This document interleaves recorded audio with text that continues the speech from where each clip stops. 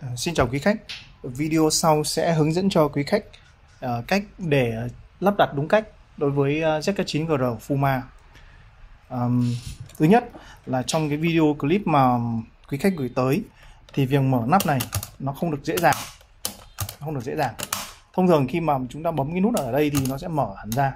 Còn nếu như trường, trường hợp mà chúng ta mở nó không ra mà nó nó ở mức độ như thế này, có nghĩa là cái uh, cơ cấu bên trong của máy và vỏ máy nó sẽ không được khớp nhau dẫn tới cái việc là vị trí mà cái nắp này nó mở ra nó bị cản.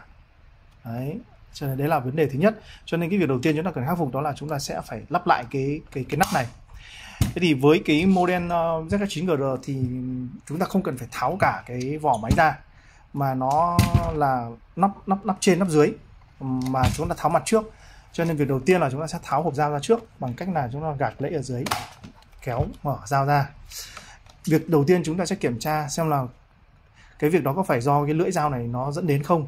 Kiểm tra điều thứ nhất đó là kiểm tra cái uh, móc lò xo này xem nó vẫn cài ở, ở một bên của cái uh, dao dưới hay không. Và hai bên này nó có hai cái má kẹp này để nó giữ cái dao dưới này nó có bị gãy không. Để nếu như nó không không không bị gãy không làm sao hết cả thì ok việc này ờ, hộp dao chúng ta để sang bên. Việc thứ hai đấy là phần chính của cái video clip này. Thì ở đây là chúng ta sẽ mở cái nắp trên. Mở nắp trên, để mở nắp trên thì thì cái thì cái nắp này, thì cái miếng ép này chúng ta bắt buộc chúng ta phải phải đậy. Sau đó chúng ta sẽ cầm như thế này. Chúng ta kéo cái mặt ở trên về phía trước. Đấy. Nó mở ra, đúng không? Mở ra thì ở đây ở đây cái cái cái bo mạch này, nó sẽ có hai cái chốt. Nó sẽ tương ứng với cả cái, đây, chúng ta tắt tắt nguồn đi. Ở đây nó có hai cái chốt cái chốt này và hai cái uh, cái cái chữ U này nó phải đặt đúng khớp này hai cái chốt đấy nó giữ được cái cái bảng điều khiển ở trên. Đấy chúng ta tháo cái bảng điều khiển ở trên ra.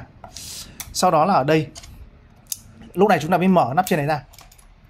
Chúng ta mở thử. Nếu như mà nó bị cản thì chúng ta nó nó cái vấn đề uh, bị kẹt ở cái uh, nắp này nó sẽ là ở bên trong. Nếu trường hợp mà chúng ta vẫn mở được ra này nó không bị cản có nghĩa là cái phần nắp trên này chúng ta lắp chưa chuẩn đấy đấy là cái nếu như lắp trên nắp chưa chuẩn thì lát nữa thì chúng ta chỉ cần khớp lại tất cả cái chốt này ở đây. Chúng ta kiểm tra lại xem các cái dây này nó có nằm, nó có bị vướng vào đâu không. Thì là lúc này chúng ta sẽ lắp lại cái này là được. Chúng ta kéo ra chúng ta lắp lại. Đấy, là là xong. Đấy. Nếu trường hợp mà chúng ta mở cái nắp trên này ra mà cái nắp này nó không mở được, thì chúng ta lại phải khắc phục ở cái vị trí này thì nó tương đối phức tạp cái cái lỗi này là cần phải là tháo cái vỏ máy ra thì mới mới, mới xử lý được cái chỗ này.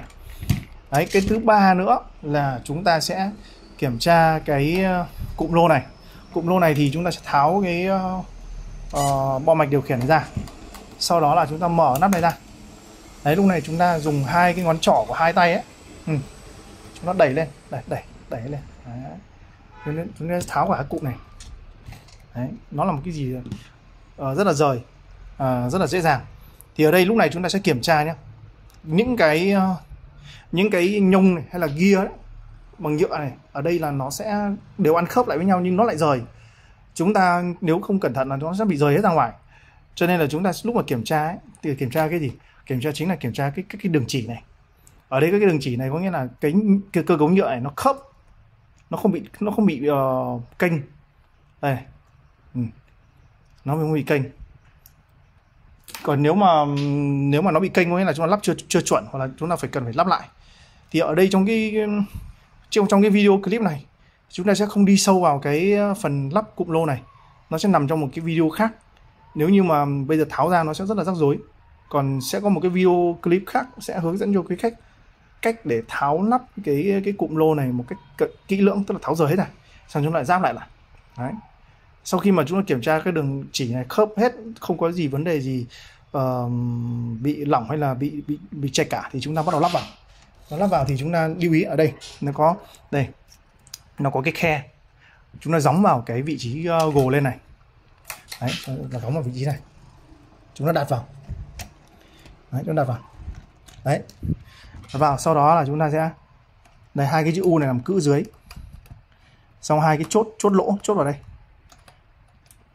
nắp trên đậy vào kéo hết xuống. Kiểm tra xem có bị vướng dây gì không. Sau đó kéo về phía trước. Đấy.